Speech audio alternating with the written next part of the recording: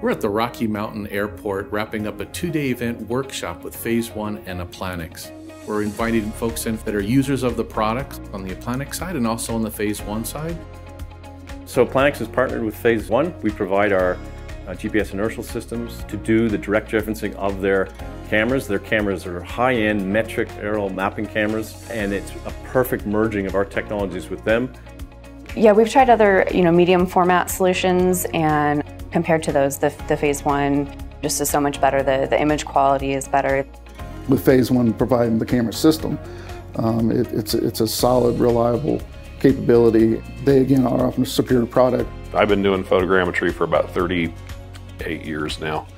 This has been enlightening. We're looking to expand our capabilities, mostly to be able to have a small portable system that we can take with us in the field. It's a lot easier.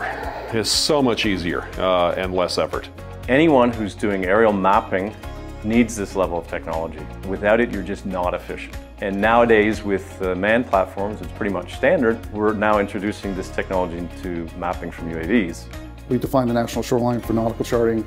So we collect imagery, stereo imagery with these cameras, as well as we fly primarily post-hurricane damage assessment imagery using these systems.